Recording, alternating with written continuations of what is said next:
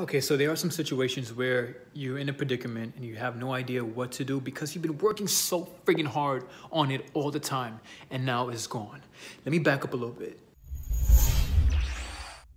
What's up guys, if we haven't met before, my name is Johann and on this channel you'll find some helpful tips and strategy videos to improve your self-care as well as one-on-one discussions just like this one. So if you're new here, consider subscribing and hitting that notification bell before I end up losing this video too. To give you guys a quick explanation of what happened, right?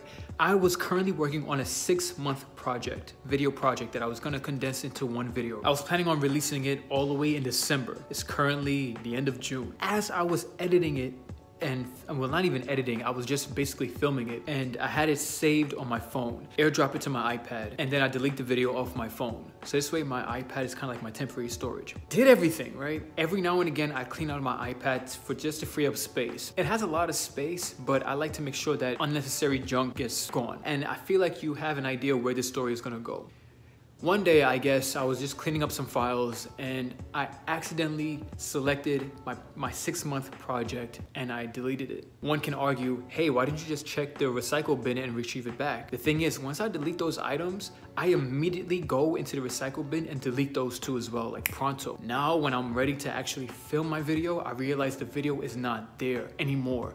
And I'm like, are you serious? Basically, like, I don't know. I don't know. I don't know what to do at this point. I feel very unmotivated. I feel very, just very pissed. Mostly at myself for not realizing that I selected the the the the the the the, project file and then deleting it. Now I have only one piece of video left, like one video clip, and I'm thinking to myself, what can I do with this video clip? Should I just abandon the whole project in its entirety? I decided to talk to a group of people that is in my social media circle, if you will. Shout out to the VRA fam if you if you watching this. Explain to them the situation and the response and the feedback I got was amazing. I wasn't really trying to seek out no sympathy.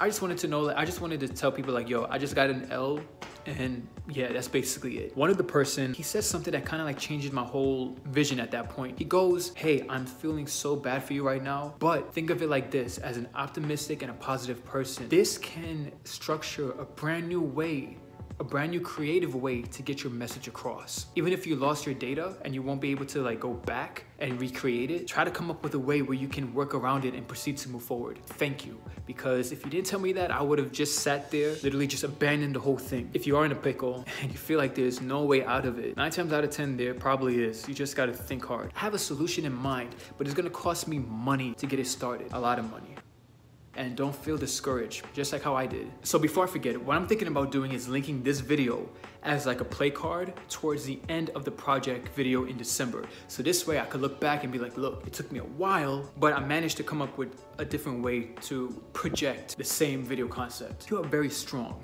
and you're very smart. And if you're very creative, you will come up with a creative way. I guarantee it. I haven't gotten to it yet, but I'm pretty sure if I take the time and I, and I really sit down and I get it right, I'm pretty sure I could come to reality